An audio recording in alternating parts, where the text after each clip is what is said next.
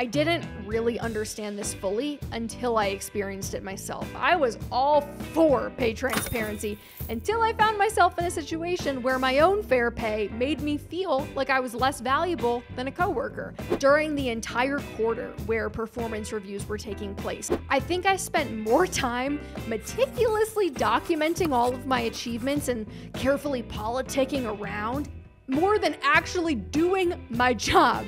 I paid a less attention to the work itself and more attention to managing perceptions and planting the seeds I thought would get me the increase I wanted. Because there was no transparency around how these decisions were made. It was such a black box that I ran myself into the ground, scrounging for information and making all these Hail Mary attempts at pushing myself ahead of the rest of the pack. That both infuriated and motivated me, if I'm being honest. And therein lies the problem. Just because we're paid less than someone else does not necessarily mean that our pay is unfair. And this is where the conversation may often fall short of achieving what it needs to. Pay transparency is a means to an end, it is not the end itself.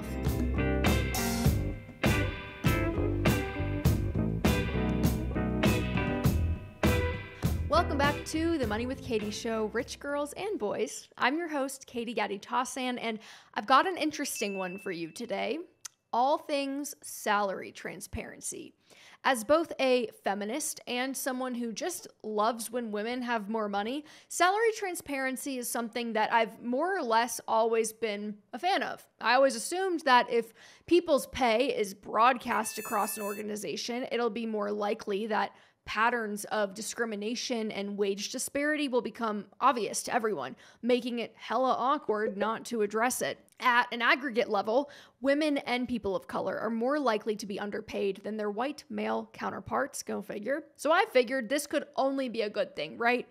According to the World Economic Forum, if current trends continue, it'll take another 136 years for men and women to be paid equally. We'll link the data in the show notes for you. But as I'm learning, things are rarely as simple as they seem. The downstream second and third order effects of a decision, whether personal or policy, are often not recognized until it's too late.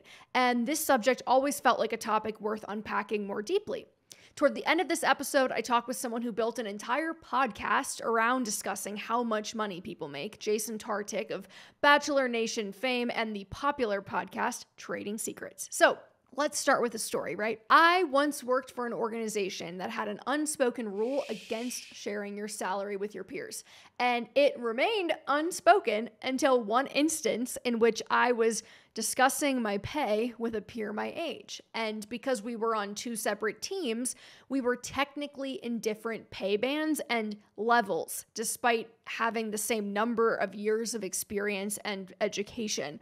And we were talking about our respective pay levels because merit increases had just been released. And so we were comparing our raises, and they were the same percentage, but on different amounts of money. Apparently, this person had a similar conversation with someone else at our level, and the discrepancy between our pay ranges between the three of us came up. I'm not sure how it ended up making its way back to management that we had talked about it, but before I knew it, this friend was panicking that she was in trouble with her manager for having such conversations.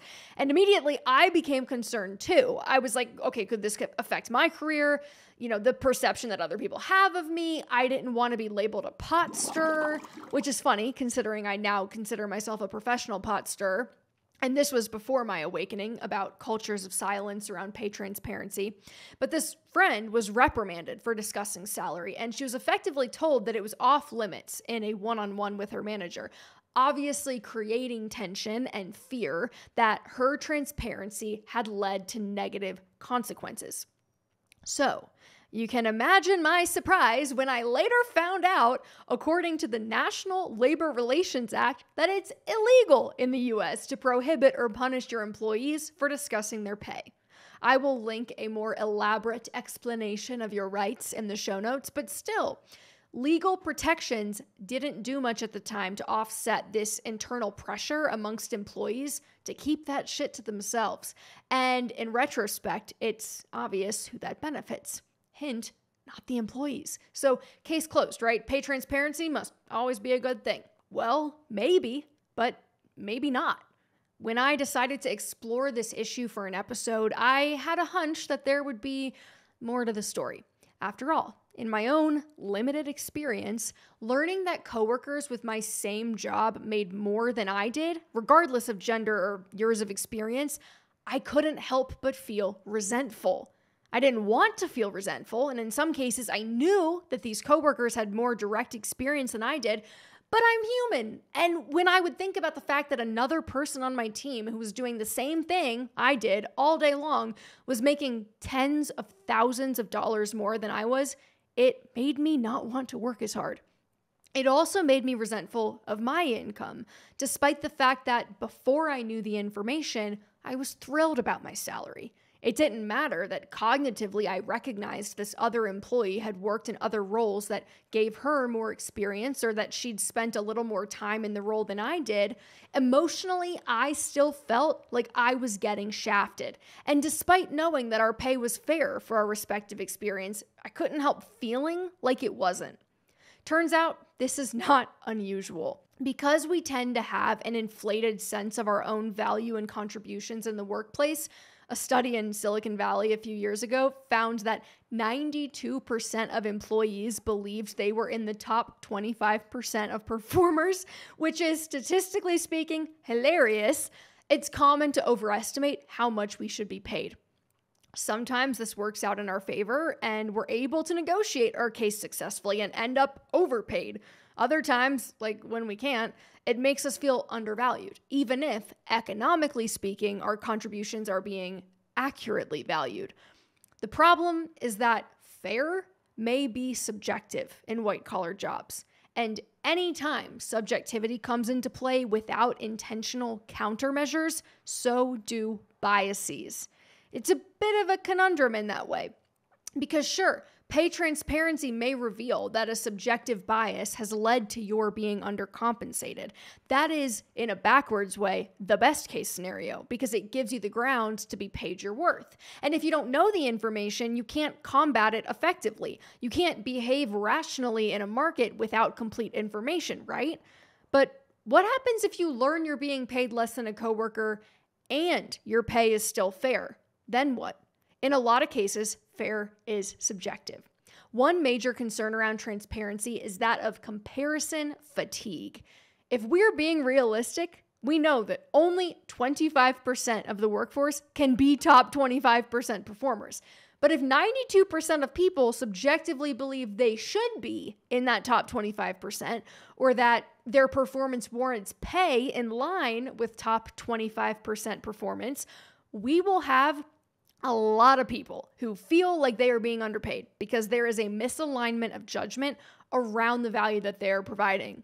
And I didn't really understand this fully until I experienced it myself. I was all for pay transparency until I found myself in a situation where my own fair pay made me feel like I was less valuable than a coworker. And therein lies the problem. Just because we're paid less than someone else does not necessarily mean that our pay is unfair. And this is where the conversation may often fall short of achieving what it needs to. Pay transparency is a means to an end. It is not the end itself. I think this is where it's important to distinguish between the objective and the strategy. The objective is a reduction in inequality in the workplace and pay discrimination based on things like gender or race. And the best strategy we have for meeting that objective right now is pay transparency. But pay transparency, aka merely publishing how much every person in the office earns on its own, is likely not enough to achieve the objective. Just knowing that someone else on my team makes more than I do is not likely to motivate me to work harder or enjoy my job more. What will motivate me is a transparent blueprint for how compensation decisions are made.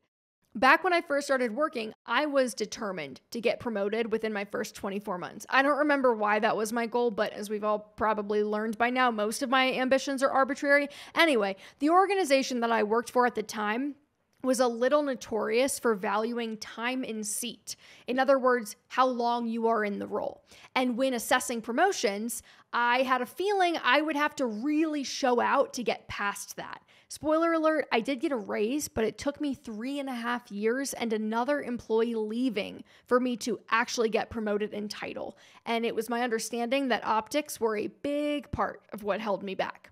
For context, in case you are curious, because hey, we're all about transparency today, my salary started at $52,000 and 4 years later when I left, it was around 70,000. So, an average increase of about 4500 per year. But anyway, during the entire quarter where performance reviews were taking place and I was trying to secure my top spot in line for the title bump and salary jump, I think I spent more time meticulously documenting all of my achievements and carefully politicking around to justify why I deserved it more than actually doing my job. I was so focused on building an ironclad case that I paid a less attention to the work itself and more attention to managing perceptions and planting the seeds I thought would get me the increase I wanted. I don't remember it being a particularly happy time because I put myself under a self imposed microscope trying to guess and predict what moves or people could influence my outcome because there was no transparency around how these decisions were made. It was such a black box that I ran myself into the ground, scrounging for information and making all these Hail Mary attempts at pushing myself ahead of the rest of the pack. And okay, I know I sound manipulative as hell in this recounting, but to be honest, it didn't take me long to notice that corporate America is, in many ways, one big game of presenting yourself in a certain way.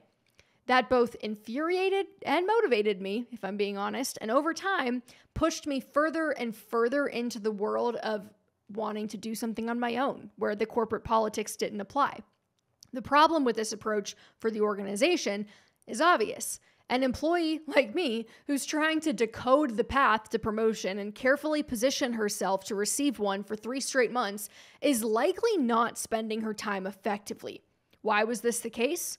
Well, because the process was opaque. There were no published standards. Everything was hearsay. Whether or not I was even eligible to be promoted was a mystery to me. And simply knowing how much money my peers made wouldn't have helped. Knowing the pay band I was in, where my current salary was located on said pay band, and any compliance rules internally around what constitutes promotion eligibility beyond the subjective assessment for middle management that you deserve it would have been a way more efficient way to save me the wasted energy of pleading my case to everyone who would listen.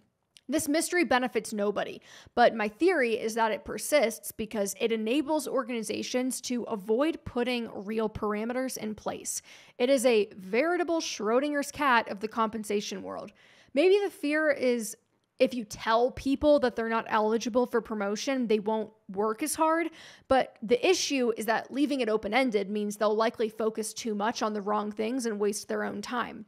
So, those are some of the obvious potential shortcomings of just sharing salary without additional context or a transparent blueprint for promotion. It's an organizational problem that then gets shifted to the employees to deal with on the individual level. But what about the slippery, nuanced pros and cons of sharing this type of information? The hard thing is that we don't have that many examples of radical transparency in organizations because it's still relatively unusual for a company to be super open about this stuff, culturally speaking. And as someone who has historically shared my income openly on the internet, I have learned the benefits and the downfalls firsthand. Starting with the pros. When I posted around tax season last year, our breakdown of how much tax we paid and how we lowered our taxable income and all my sources of income, I heard from some people that seeing a person like me, aka a young woman with a bachelor's degree from a state school in communications, was earning $400,000 a year was motivating and expanded these individuals' concept of what was possible. And I think that's expansive and it's powerful. But on the flip side, I also heard from people who found it discouraging and demoralizing. People who were happy with their income, but then, thanks to comparison, felt like theirs wasn't good enough. And I don't think we should ignore the potential downfalls of sharing this type of information widely, especially in a late capitalist culture where it becomes easy to fall into the trap of feeling like your value as a human can be so closely tied to the literal value you are extracting from your work. Much like I went from thrilled to disgruntled when I learned a coworker with my same job made more than I did, I think seeing someone else earning a lot more than you do can instigate feelings of inadequacy and self doubt. And I call this slippery because the emotional outcome so often depends on your subjective relationship with money. If you believe money is abundant and that you are worthy of more, you may see someone who earns more than you and feel motivated.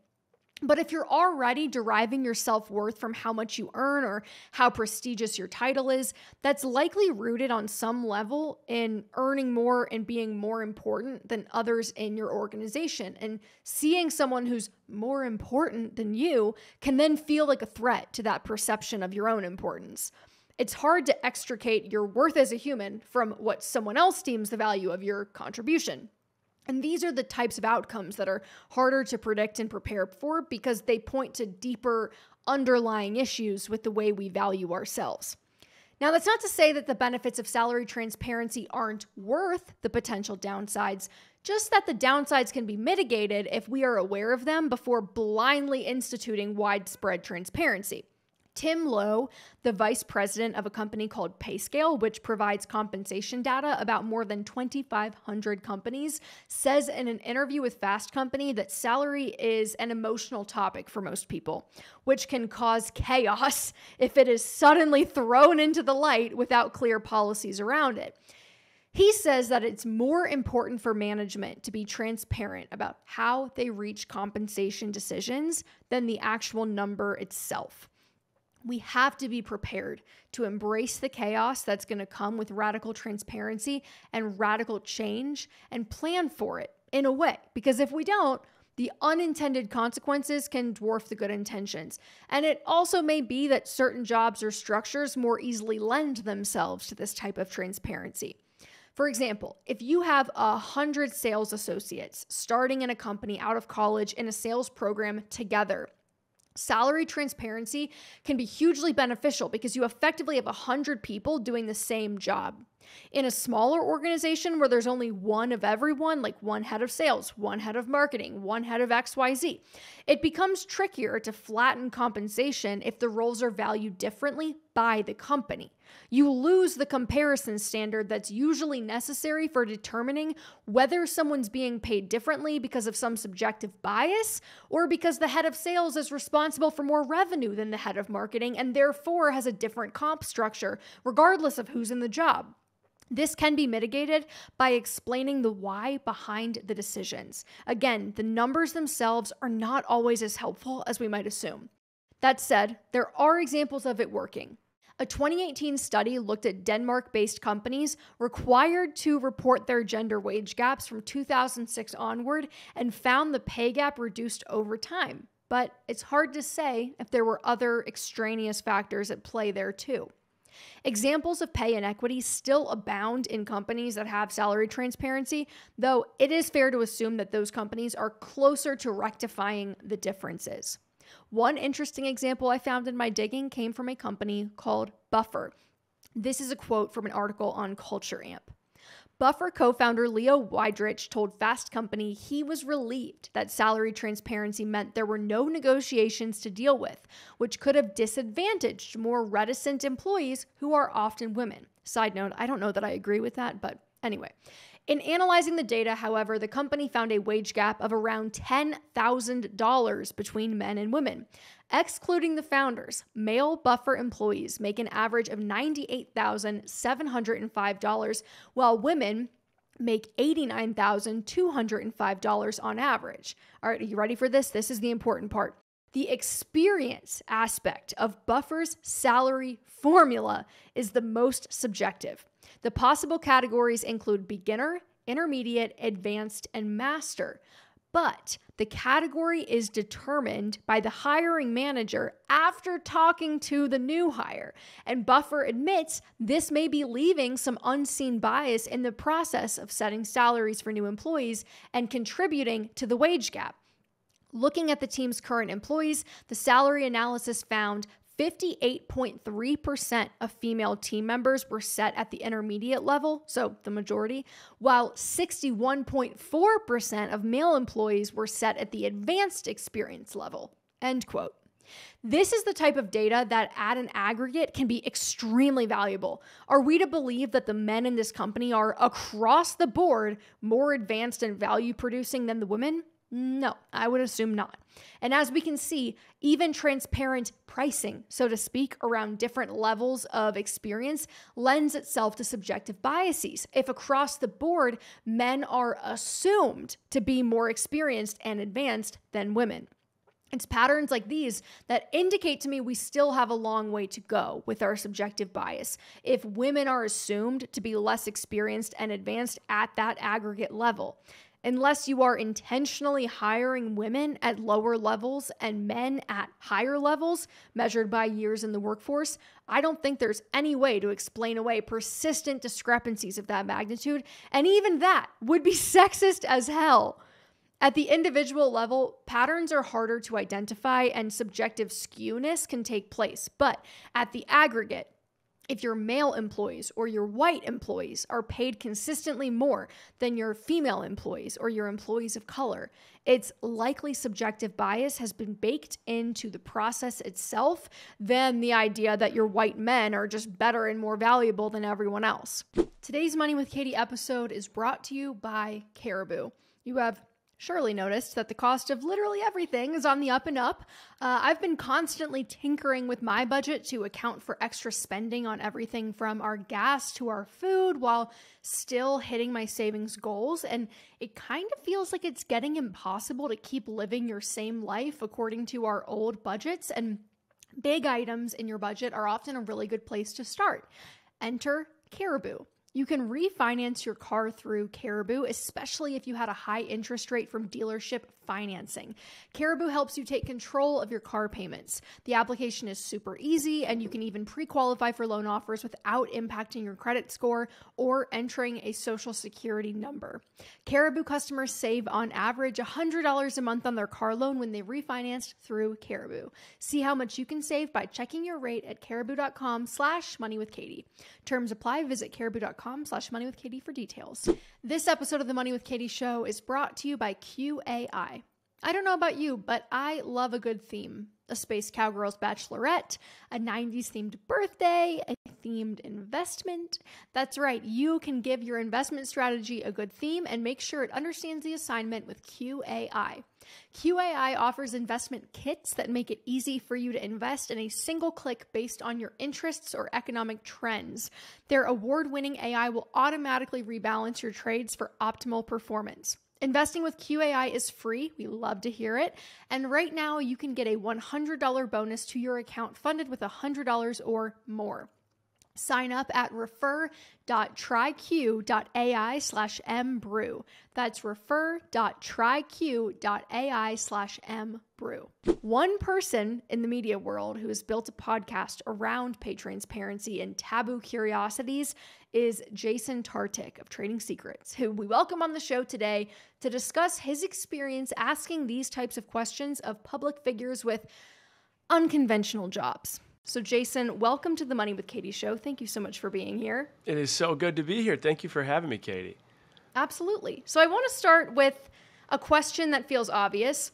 Why do you think we're inherently curious about how much money other people make? Like, even people who don't work in our field or have anything to do with us and how much we make? I don't know. I think it's because I think there's so many ways you can answer this. To me, I find that just the asset of the US dollar or money in general is like the most powerful thing in the world that drives so Preach. many different people, right? And so I just think it could drive happiness, independence, freedom.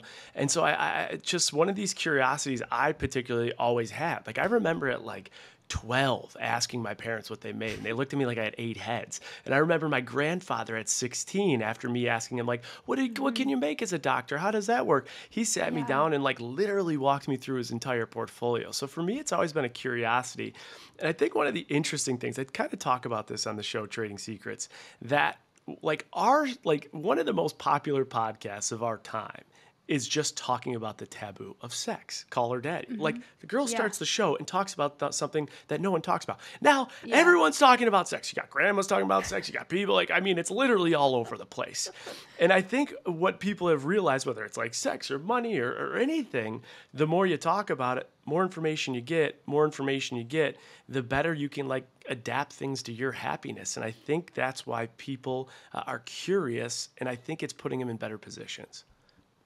I had never thought about the sex uh, analogy, but I guess you're right. It, it the whole Call Her Daddy revolution. It, it did kind of make it in some circles, or at least for our generation, a a more um, like a topic that you could talk about more openly without people kind of giving you the side eye. So a lot of what I wanted to talk about today in this episode and explore around pay transparency came down to some of the unintended consequences that we likely want to mitigate and some of the ways that you know there can be negative outcomes that we may not be able to foresee ahead of time. What's been the most surprising side effect or consequence that you have found of sharing this type of information more broadly?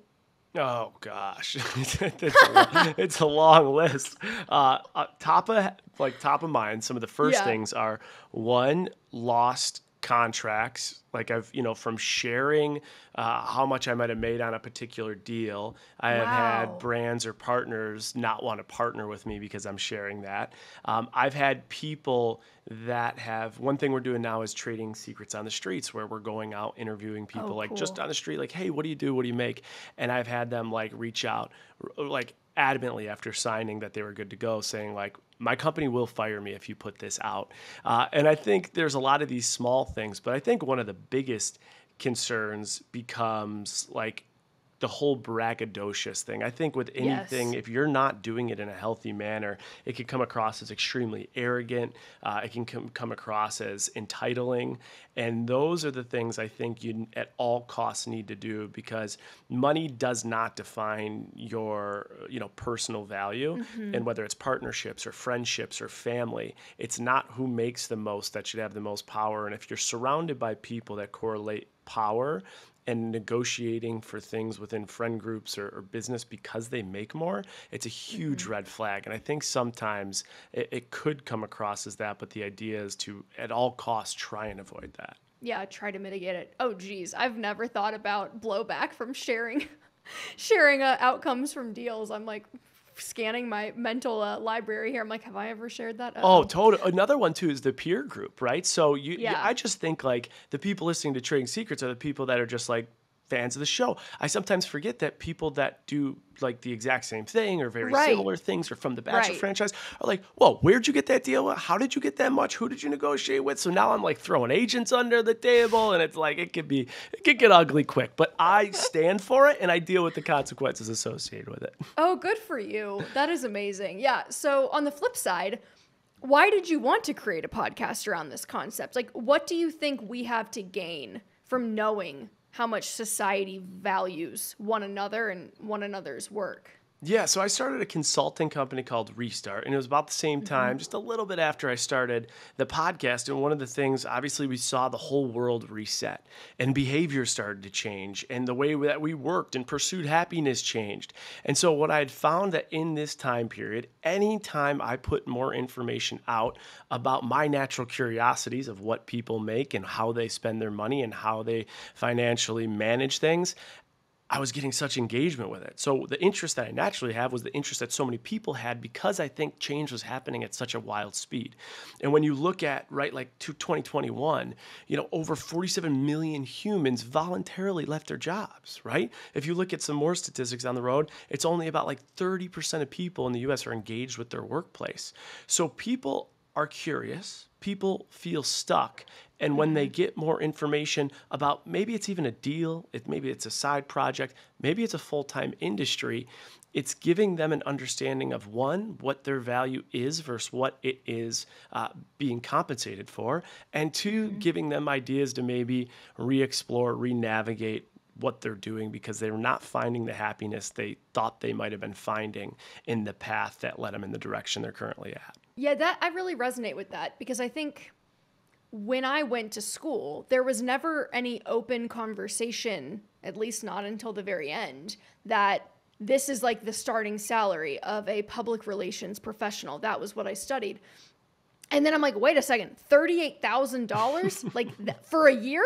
That's a year of work that you get thirty. I was like, wait, hold on. So I think coming into a profession and, and really having that be taboo even even when you're in the process of like higher education and paying for higher education to specifically pursue a certain type of career unless you go and seek that information out it's not super readily available to you.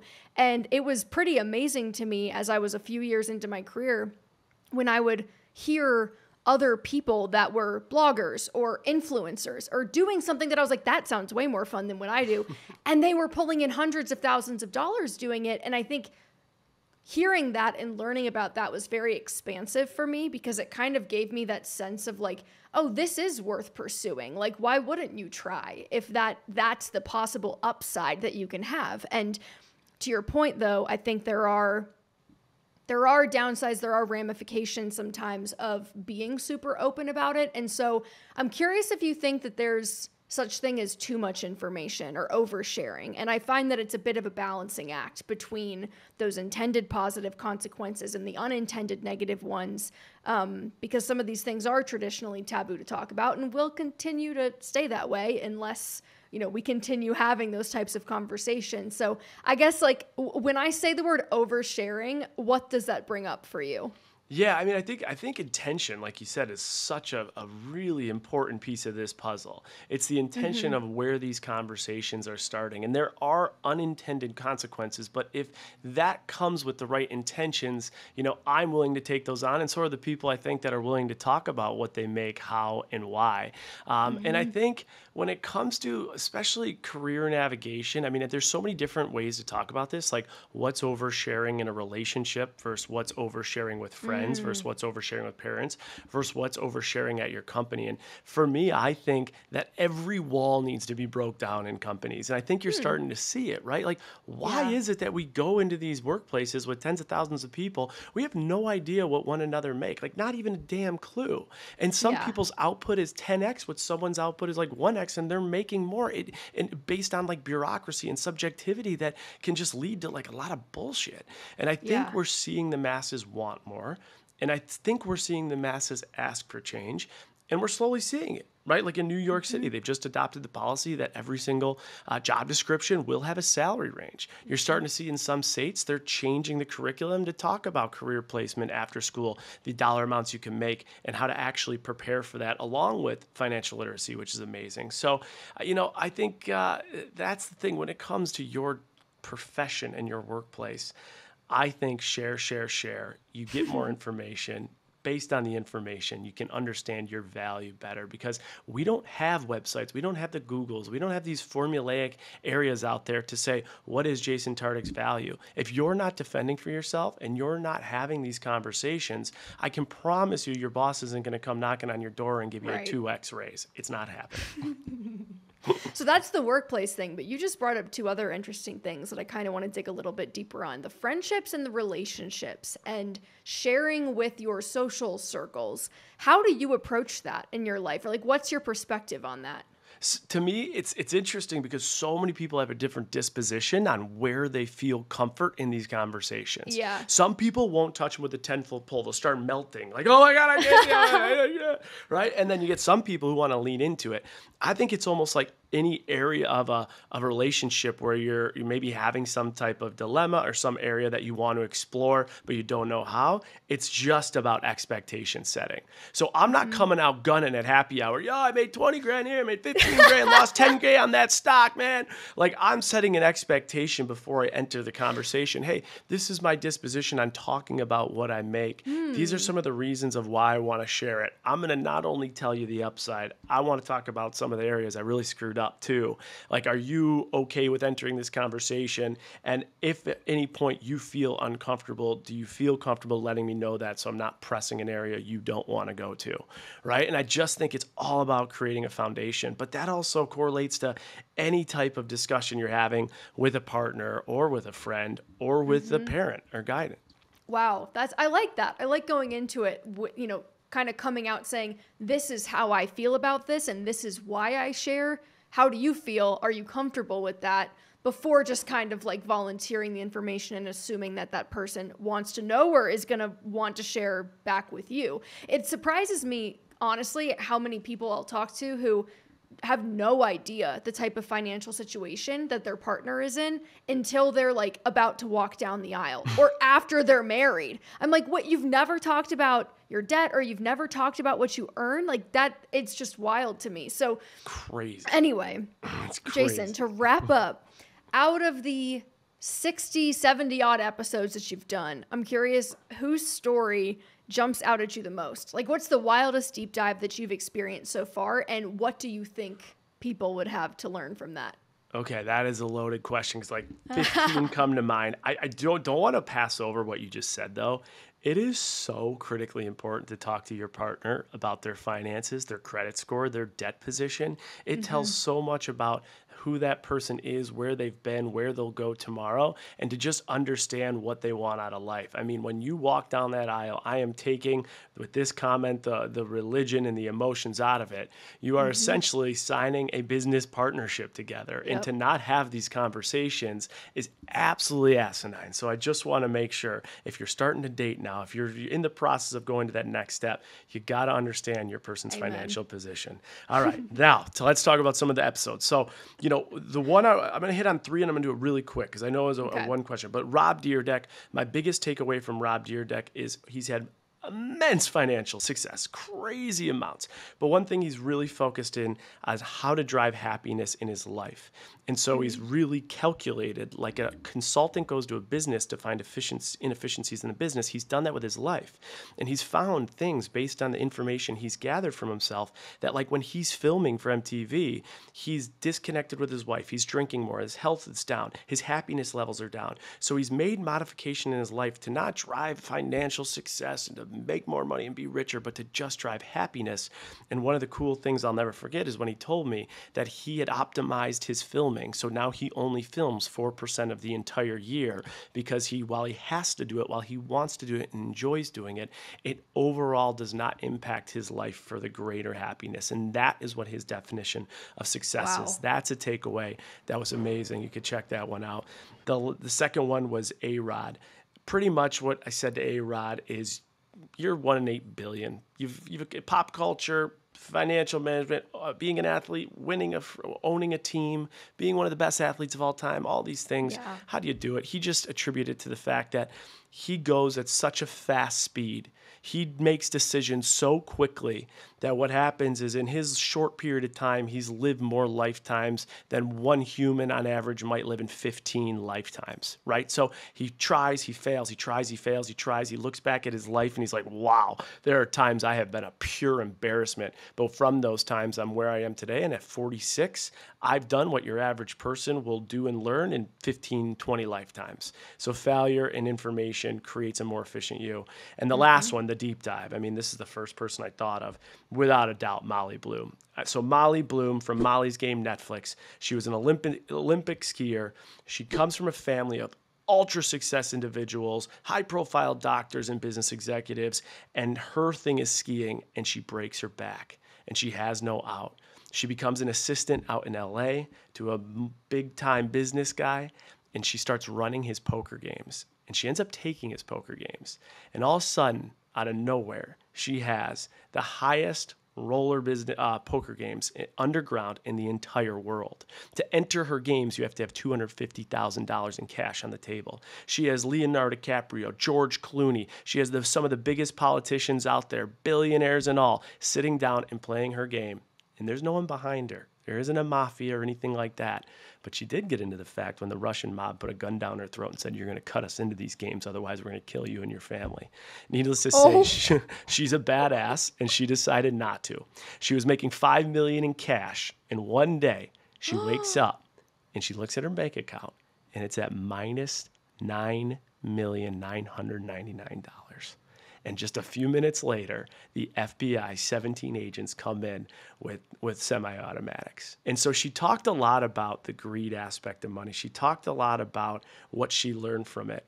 She was offered the opportunity to have her debt completely erased if she ratted out a few of the politicians. She chose not to. She paid the consequences for what she did. But the root of her issue, which I think people might be able to resonate, is I asked her, why keep going? At what point do you scale back? You're an admin. and You got millions and millions of dollars back Yeah. there. And I think this was a lesson I'll never forget.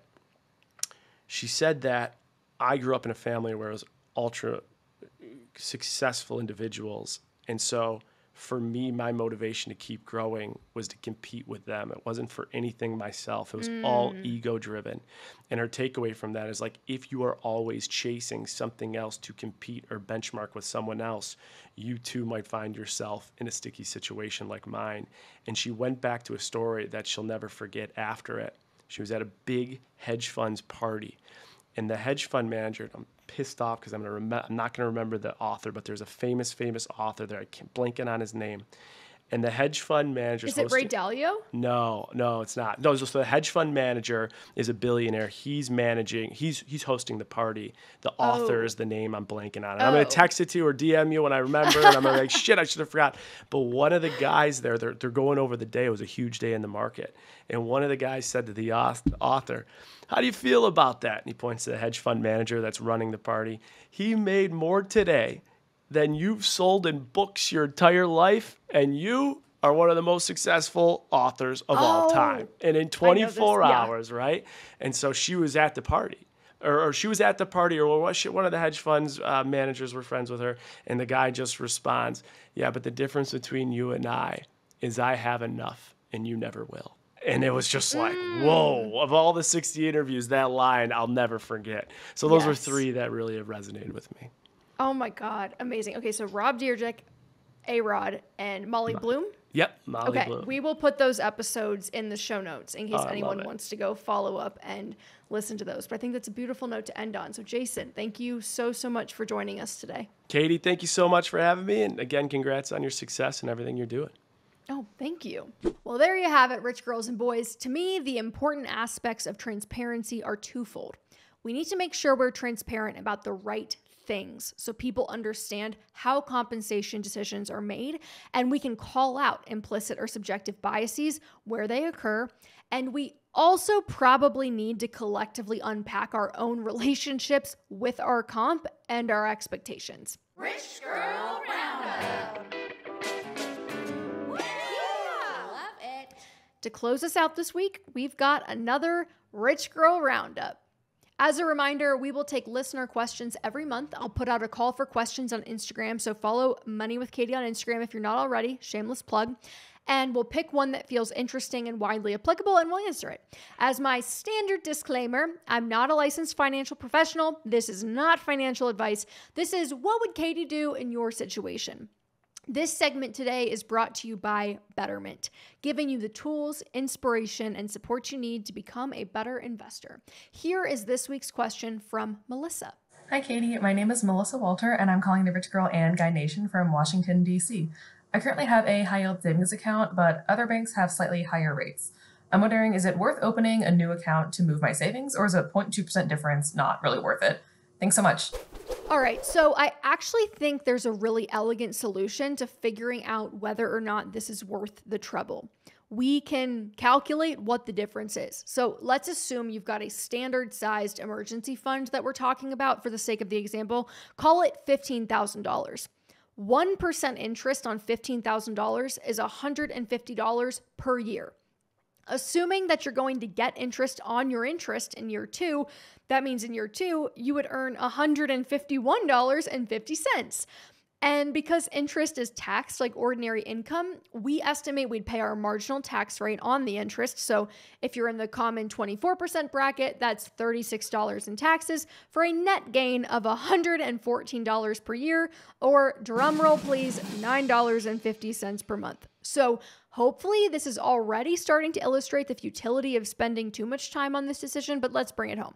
So if you're debating switching between somewhere that has 1% interest and somewhere else that has 1.2% interest, the differential between your options is $30 per year. It's the difference between $150 in interest before taxes and $180 before taxes. If you consider the hassle of switching banks worth an additional $30 per year, go for it. I would probably say it's not worth it. But you can calculate the differences for yourself with the amount in your account specifically. And if you're saving for something like a down payment in 12 to 18 months, where you've got tens upon tens, if not hundreds of thousands of dollars that are just sitting in an account doing nothing, and you're really trying to optimize, you may want to consider looking to I bonds instead that are paying 9.62% interest for the next six months that you lock in. So, thank you for the question, Melissa. I hope that helped. That is all for this week, boys and girls. I will see you next week, same time, same place on the Money with Katie show.